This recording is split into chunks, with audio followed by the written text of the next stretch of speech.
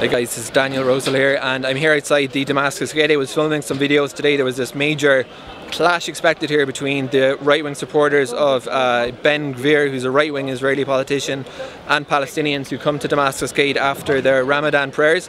Fortunately, nothing uh, too serious happened, uh, but one thing I love about going to firstly news events, it's very hard for me as a news junkie to resist, especially when they're in my city, but seeing the camcorder is amazing. I had a really good chat just now with a local uh, stringer for uh, RT. He showed me his ENG camera.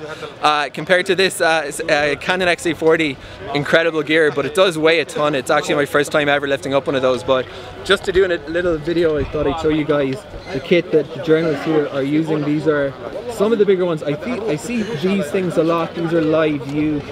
These are these um, live mobile broadcasting ca uh, cameras. I've actually talked a lot about that.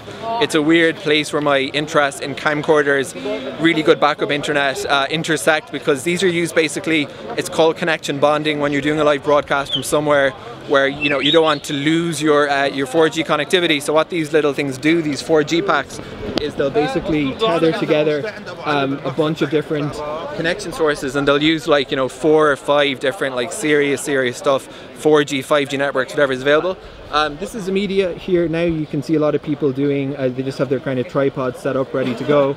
Um, if I zoom in a little bit you can see a guy doing a, a voice to camera. I did see um, one lone wolf camera operator I've never seen it before. He had his uh, tripod out and he had a reporter's microphone like the, like the Shure PJ48 that I had. And uh, he just had the tripod here, his big ENG camera sitting on the tripod um, and then running just an XLR cable. So completely one man band. We didn't even have a camera up so uh, I did one of those myself.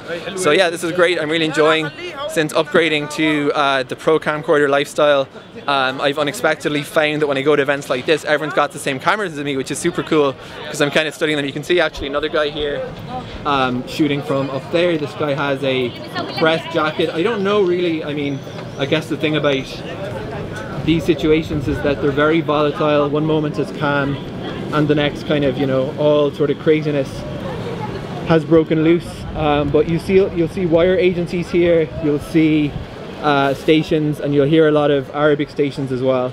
And this is kind of where the, where the press station themselves because it's kind of hard to predict. Here's another guy here and he's got a one of those backpacks so you just literally carry it around on your back so it's funny you have Israeli media you have Kan, you have foreign media that was where I was just now you have wire agencies and everyone's kind of working together here so this is where a lot of people were jostling for space earlier there's a big view here looking over Damascus Gate and now